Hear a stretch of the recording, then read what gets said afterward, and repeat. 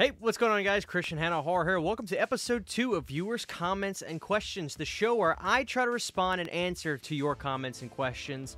Again, just like last week, if you want to be in episode three, which is next week, leave a comment below on this video, and it just may be in episode three. Without further ado, though, let's get started and answer your questions.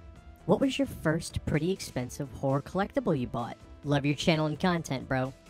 Um, thank you for the love. Um, you know, it's hard to remember the very first expensive thing I got, but I know that the very first thing that really transformed uh, the horror room, as it were, was when my wife got me the skeleton mask from Halloween 3 from a company called Silver Shamrock Novelties, which was owned by Sean Clark, who we know from Horror's Hallowed Grounds.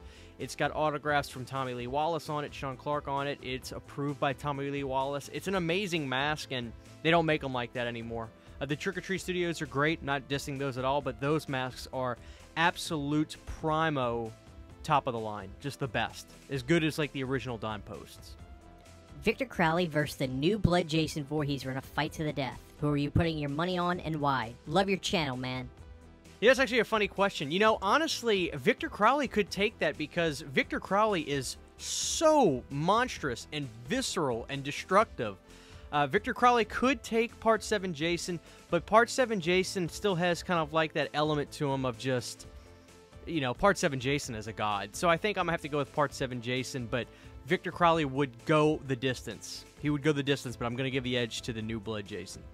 My question is which standalone horror film do you think should have gotten a sequel? This was my original question, but now I changed my mind about my choice. I think The Burning and My Bloody Valentine needs sequels. I'd like one for Halloween 3 very much if Tom Atkins returns. It's a good question, too. I've got to agree with you. The one horror movie that could use a sequel, but at the same time, I'm not really upset about it because I just think it helps the legacy of that film, is My Bloody Valentine. It got a remake, as we know, which is pretty good, but you know, you could have really gotten a sequel with My Bloody Valentine 2. They could have done a prequel thing where they actually showed Harry Warden. I would have been pretty cool with that. You know, I'm, I'm actually kind of bummed out they didn't do that. But then again, the fact that it's it's a standalone film, there's just that legacy for My Bloody Valentine. Uh, so I would I wouldn't mind a sequel for that one, but I'm kind of glad that they didn't at the same time. Does that make any sense? Hey Christian, love the channel, man. Okay, here's my question. Since it's winter, what are a couple of your favorite horror movies that take place in a snowstorm? I always loved Stephen King's Storm of the Century and Misery, or Wind Chill, to name a few. Horror movies that take place in a snowstorm. That's a good question. Thanks for the love. You know, one comes to mind that I'm a huge advocate and fan for. Uh, Adam Green, one of my favorite directors. I love him. I love movies he's done like, uh, you know, Digging Up the Marrow and, of course, Hatchet, which we were just talking about. He did this movie called Frozen that is my Frozen, not the Disney Frozen. This movie called Frozen was amazing. Such a simple premise, but done to the utmost. It's amazing. He did this, this movie where these people get stuck on a ski lodge deal where they're going up the ramp to go up the mountain and they get forgotten up there and it's freezing cold and it's snowing and it's a blizzard and they have to wait it out or die. Great movie. Great movie. Check that out if you haven't seen it. It's Adam Green's Frozen. I love the 1986 Trick or Treat soundtrack by Fastway. What are your thoughts on it? And do you have a favorite horror soundtrack? Oh boy, Trick or Treat Fastway, that's one of my favorite albums. I have the album on vinyl, as a matter of fact. I listen to it quite a bit. I'm actually a really big Fastway fan. Their debut album is absolutely amazing. It's barroom rock and roll before it became more arena rock like the 86 album, which is great, but man, they're such a great band. Uh, soundtracks that I love, that's obviously one of them. Um, the, the Nightmare on Elm Street Part 4 soundtrack is really good, as well as Part 5. Now, this music doesn't necessarily show up in the film that much, uh, specifically, songs like Mammoth's uh, Can't Take the Hurt from Part 5, Nightmare on Elm Street. But the soundtracks are amazing and they shape music uh, that I love today. So the Nightmare 4 and 5 soundtracks, I couldn't live without those. If you haven't listened to those, I'm talking about the music from the motion picture, the rock songs, and the songs by Go West and Vinnie Vincent Invasion. Check those out. Those are amazing tracks. Awesome video. I love how interactive this is, and it's cool getting to hear you answer to questions. Here's mine for the next episode. How do you rank these six franchises from worst to best? Halloween, Friday the 13th, Elm Street, Child's Play, Texas Chainsaw Massacre, and Scream. Hey, Derek. Glad you like the show. Um, okay, so rank these in order, you ask. Uh, Halloween, Friday the 13th, Elm Street, Child's Play, Texas Chainsaw Massacre, and Scream. Okay, this is from worst to best. Scream, Child's Play, Halloween, Texas Chainsaw Massacre, Friday the 13th, and Nightmare on Elm Street. I just want to say thank you for taking the time to entertain and show us so many movies. As a matter of fact, I have bought quite a few movies that you have reviewed, like Nightmare Beach, Return of the Living Dead Part 2, Vamp, The Blob, and others. Keep up the good work. Hey, thanks for the compliment. I really appreciate that. I'm glad that you enjoyed movies like Nightmare Beach, Return of Living Dead 2, Vamp, The Blob, and others. Keep up the good work. Thank you. I've got some movie reviews coming up. As a matter of fact, I had the Blu ray right here somewhere. It's right over there. Uh, I've got a review for Darkman coming up, which is probably my favorite Sam Raimi film, if not the second one to Army of Darkness. Uh, another one of those action style movies with horror elements that I can't wait to talk about. Uh, and I've got some others coming. So uh, get ready for more reviews. I'm trying to spotlight films that touch me more so than, you know, deciding whether something's a cult hit or what needs more love. I just watch movies, and if something really is I, I, is, I attract to, I want to share it with you guys. That's all I'm. That's all I'm trying to do. So I'm. I am very glad that you're enjoying some of these movies that I've talked about. Stick around. We got a lot more to come. How did you get into Nightmare on Elm Street? Ooh, how did I get into Nightmare on Elm Street?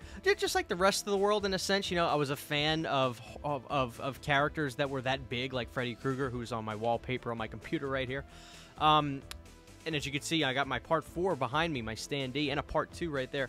I'm obsessed with this franchise. I love this franchise. You know, Nightmare on Elm Street, uh, it really started with just the name Freddy Krueger. I, I, was petrified of this guy before I even saw the movies. Um, and I think that the character has just resonated with me more than anything. Uh, I'm a punk rocker, and to me, Freddy is so punk rock. He's against the rules, he's against the grain. He talks, which is almost, you know, uh, not typical with slasher characters, uh, especially of that magnitude. You look at Michael and you look at Freddy, and they don't say anything. But, uh, well, unless you talk about Jason Goes to Hell, which I love. But Freddy was always vocal from the start. And I love that about him. I love his look. I love his style. I love the sound of those films. But how did I get into it? You know, I knew who the character was.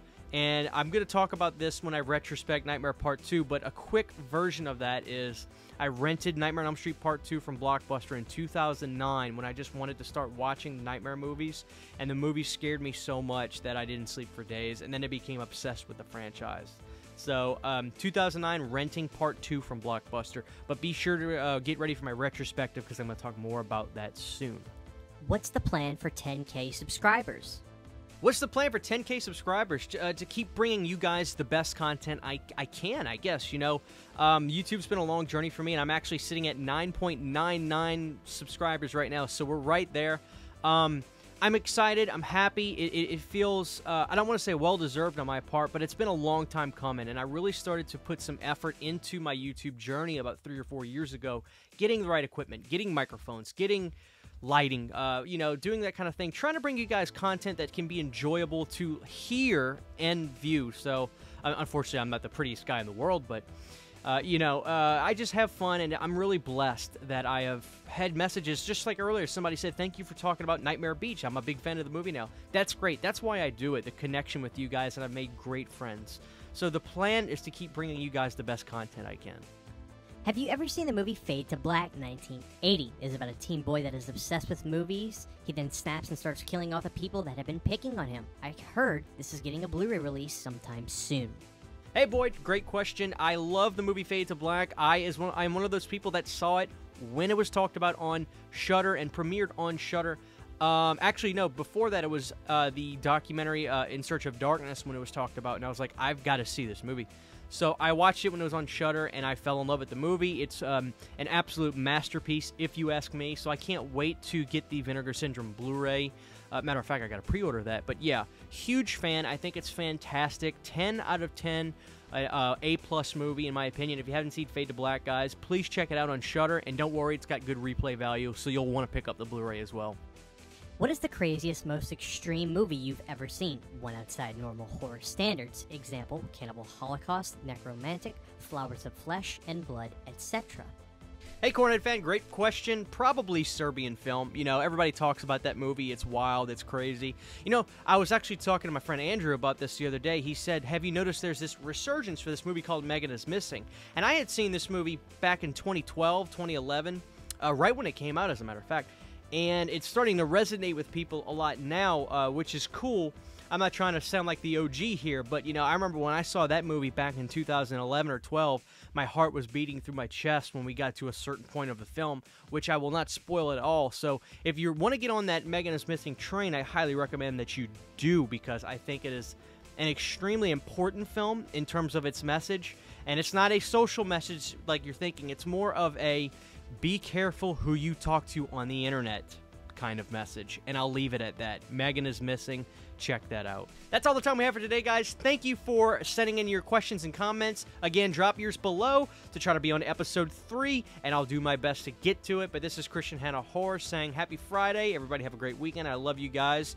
Get ready for some Christmas reviews. I think Christmas Evil is coming up next. That's when I'm going to be reviewing the Vinegar Syndrome Blu ray, and as well as Silent Night, Deadly Night Part 2, which I did Part 1 a year or so ago. So it's time to do Part 2, um, as well as other videos. Thank you guys, Christian Hanna Horror. Love you.